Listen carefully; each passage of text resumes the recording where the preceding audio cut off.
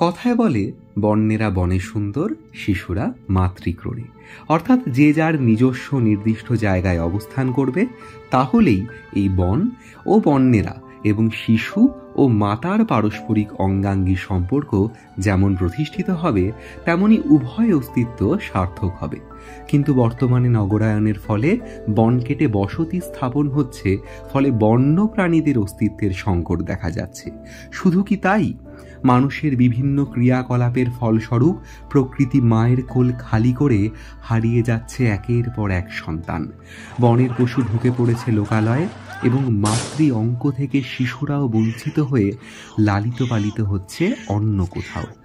ধ্বংসকারী সভ্যতার অর্থলোলুপতা হিংসা, সম্পদ ও ভোগবিলাসের নেশা দিনকে দিন এতটাই বেড়ে যাচ্ছে যা দিক বিদিক জ্ঞান শূন্য হয়ে পথমধ্যে বিলীন করেছে প্রকৃতিকে।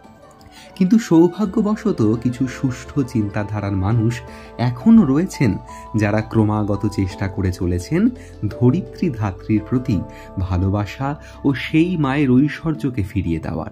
এই জাতীয় বন্যপ্রাণ সপ্তাহ পালন তারই একটি অঙ্গীকার। উনিশশো সাল থেকে দোসরা থেকে আটই অক্টোবর প্রতি বছর ন্যাশনাল ওয়াইল্ড লাইফ উইক হিসাবে অনুষ্ঠিত হয়, যার লক্ষ্য প্রকৃতির তথা প্রাণের পুনরুদ্ধার, যা বিভিন্ন থিম অথবা লক্ষ্যকে মাথায় রেখে সংঘটিত হয়।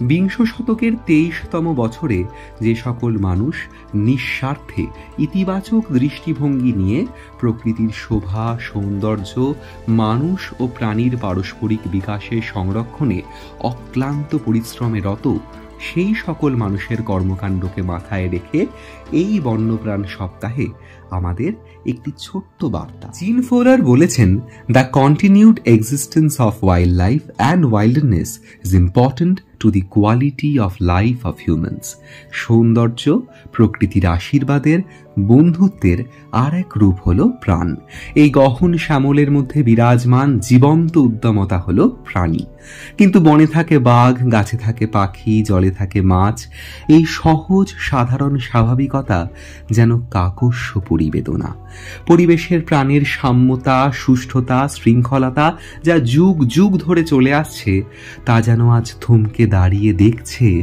মানুষের নিজের স্বার্থে প্রাণ হত্যার বর্বরতার খেলা। এখন ফিরে আসা যাক স্বদেশের কথায়। ভারতবর্ষের সৌন্দর্য সজ্জার এক বিশেষ বৈশিষ্ট্য হল তার জীব বৈচিত্র্য। পাঁচশোরও অধিক স্তন্যপায়ী এবং তেরোশোরও অধিক খেচর প্রাণীর বাসস্থল এই ভারত। ভারতের বিস্তীর্ণ বায়ন এক লক্ষ দু হাজার সাতশো আঠেরোটি প্রজাতির বিচরণ ক্ষেত্র। কিন্তু বিপুল সেই প্রাণের ভাণ্ডার বর্বর ব্রিটিশ রাজের হাতে, না ভুল হল, দেশের প্রাচীনকালের অধিপতিদের সময় থেকেই কেবল প্রমোদ ও বীরত্বের চিহ্ন হয়ে নিশ্চিহ্ন হতে বসেছে। সেই মরণ খেলা সময়ের তালে তালে বর্বর মানুষের হাতে নাচতে নাচতে বেড়ে চলতে লাগল এবং অবলীলায় মুছে ফেলতে লাগল একটার পর একটা প্রাণ। উনিশশো সাতচল্লিশ সালে শেষ তিনটি এশিয়াটিক চিতার রামানুজ প্রতাপ সিং ডিওর হাতে হত্যা, সেই সকল অগণতি নির্লজ্জ নৃশংসতার একটি উদাহরণ মাত্র। দু হাজার চৌদ্দ সালের একটি প্রতিবেদন অনুযায়ী, গাছপালার এগারো দশমিক পাঁচ শতাংশ এবং প্রায় ছয় দশমিক পাঁচ শতাংশ জীব ভারতবর্ষে বসবাস করে। বর্তমানে যার মধ্যে পনেরোটি প্রজাতির পাখি এবং বারোটি প্রজাতির স্তন্যপায়ী সংকটের মুখে। এছাড়াও আঠেরোটি প্রজাতির সরীসৃপ ও উভচরকে সংকটাপন্ন তালিকায় অন্তর্ভুক্ত করা হয়েছে। উনিশশো আশি সালের রিপোর্ট অনুযায়ী ভারত ও বাংলাদেশে সম্মিলিতভাবে এক লক্ষ প্রজাতি বসবাস করত, যা বর্তমানে ঠেকেছে পাঁচ হাজারের ঠেকোয়। ভারত মাতার কোল খালি করে মানুষের কালো থাবায় চিরতরে একে একে হারিয়ে গেছে হিমালয়ের কোয়েল গোলাপি মাথাওয়ালা হাঁস অরণ্যে বিগত তিন দশকে ধ্বংস হয়েছে বহু স্তন্যপায়ী। রেহাই পায়নি বাংলা তথা ভারতের গর্ব আমাদের ডোরাকাটা বন্ধুটিও। উনিশের শতকে যে ভারতের বনানি দাপিয়ে বেড়াত লক্ষাধিক চার পেয়ে সাপদ দু সালে তা মাত্র এক হাজার চারশো এগারোতে এসে দাঁড়ায়। কিন্তু কতদিনই বা চলবে এই ধ্বংসলীলা? তবে কি the earth was made for all beings not only for human beings এই বাস্তবতা চিরতরে নিশ্চিন্ন হয়ে যাবে মানব সভ্যতার মানবিকতার বুক থেকে। কিন্তু না। প্রাণী হত্যার নির্মমতা ব্যাকুল করে তুলল পশু প্রেমে প্রীত মানব হৃদয়।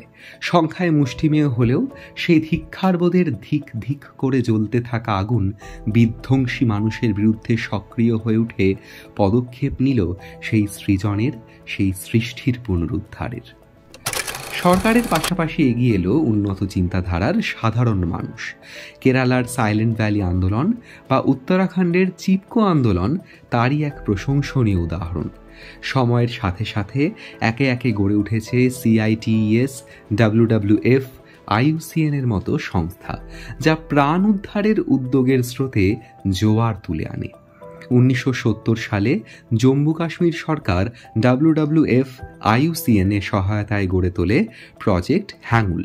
এই হ্যাঙ্গুল বা কাশ্মীরিয়ান রেড স্ট্যাগের সংখ্যা উনিশশো আশির মধ্যে তিনশো চল্লিশের অধিক দাঁড়ায়।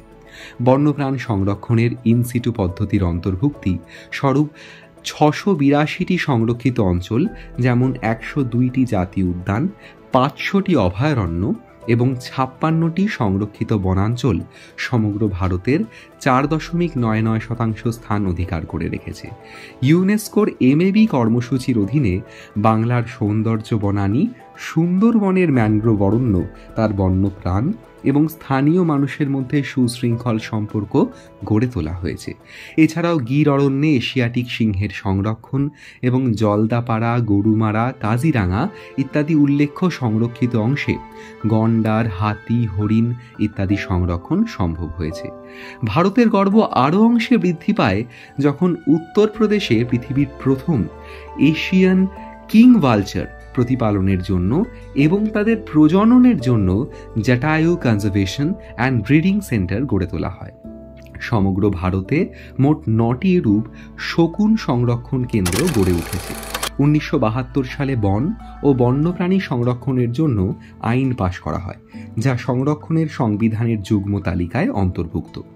এই সকল উদ্যোগের পাশাপাশি সরকারের তরফ থেকে জনসাধারণের মধ্যে সচেতনতা বৃদ্ধির উদ্যোগে বিভিন্ন ধরনের ট্রেনিং প্রজেক্টের ব্যবস্থা করা হচ্ছে। পশ্চিমবঙ্গের বন্যায় বনগা বিভূতিভূষণ অভয়ারণ্য থেকে শতাধিক হরিণকে বাঁচানোর জন্য সংশ্লিষ্ট ব্যক্তিকে সরকার পুরস্কার দেওয়ার কথা ঘোষণা করে। এই ধরনের বিভিন্ন ধরনের উদ্যোগ এবং প্রচেষ্টার মাধ্যমে আশা করা যায় সুদূর ভবিষ্যতে হয়তো কোনো একদিন প্রকৃতির সৌন্দর্য মানুষ ও প্রাণী বিকাশের সাথেই পরিস্ফুটিত হবে। দাও ফিরে সে অরণ্য লওয়ে নগর। পরিশেষে বলা যায়, মানব জীবনকে গতিময় রাখতে এবং পরিবেশে ভারসাম্য বজায় রাখতে বন ও বন্যপ্রাণী সংরক্ষণের গুরুত্ব অপরিসীম। পরিবেশ বলতে শুধু জীবজন্তু নয় উদ্ভিদ, জলবায়ু, মাটি সব কিছুকেই বোঝায়। শুধু পরিবেশে ভারসাম্যের কারণেই নয়, অর্থনৈতিক দিক দিয়েও বন্যপ্রাণ সংরক্ষণের গুরুত্ব অনস্বীকার্য। তাই এই সংরক্ষণের ভূমিকা শুধু তাদের স্বার্থেই নয়, এতে রয়েছে মানব জীবনের সুস্থতার ও প্রগতিরও স্বার্থ।